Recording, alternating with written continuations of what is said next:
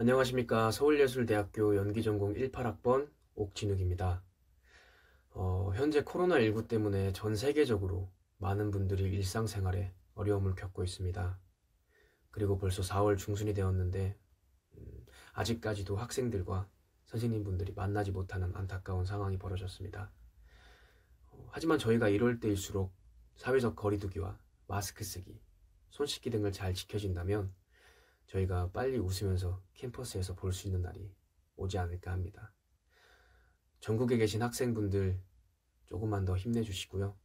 저희에게 질 좋은 수업을 제공해주시는 모든 선생님분들께 진심으로 감사합니다. 서울예술대학교 화이팅!